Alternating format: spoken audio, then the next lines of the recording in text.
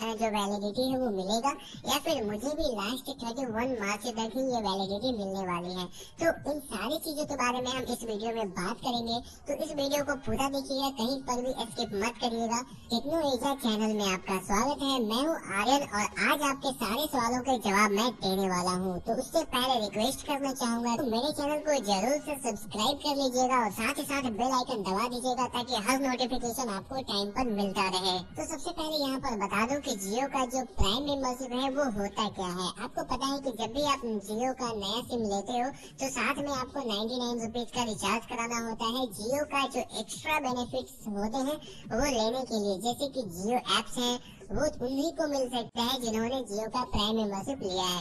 या फिर जियो के बहुत सारे ऐसे प्लान है जिनमें जिन्होंने जियो का प्राइम मेंबरशिप लिया है। उनको एक्स्ट्रा डाटा और एक्स्ट्रा बेनिफिट्स मिल जाते हैं। तो इस तरह से कुछ जियो का नाइन्टी नाइन रुपीज़ का रिचार्ज होता है, जो कि साल में एक बार आपको कराना होता है।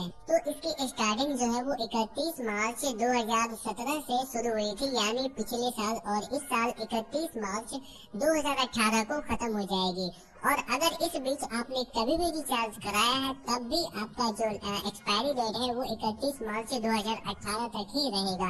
ये आगे नहीं बढ़ने वाला है। अगर आपने एक महीने पहले भले ही आप 30 मार्च 2018 को ही क्यों ना रिचार्ज कराएँ और ये बात मैंने जियो के कस्टमर केयर से भी पूछा और उन्होंने भी इस बात का मुझे कंफर्मेशन दी कि आप रिचार्ज कभी भी कराए हो, जियो प्राइम मेंबरशिप इकतीस मार्च दो हज़ार अठारह को सबके लिए खत्म हो जाएगा। तो अब यहाँ पर मैं कुछ चीज़ें बताना चाहता हूँ। जब मैं जियो के ऑफिशियल वेबसाइट पे गया और वहाँ पर मैंने जियो प्राइम मेंबरशिप के टर्म्स एंड कंडीशन देखे तो वहाँ पे लिखा हुआ था की जियो कभी भी इस जियो प्राइम मेंबरशिप का जो प्राइस है, वो बढ़ा सकता है। तो ऐसे में मुझे ऐसा लग रहा है कि अब जियो जो है इकतीस मार्च 2018 के बाद जो भी प्राइम मेंबरशिप लेगा, उसके लिए अब 99 नहीं देकर कुछ ज़्यादा पैसे देने होंगे, जैसे कि 149 या फिर एक सौ पचास रूपए।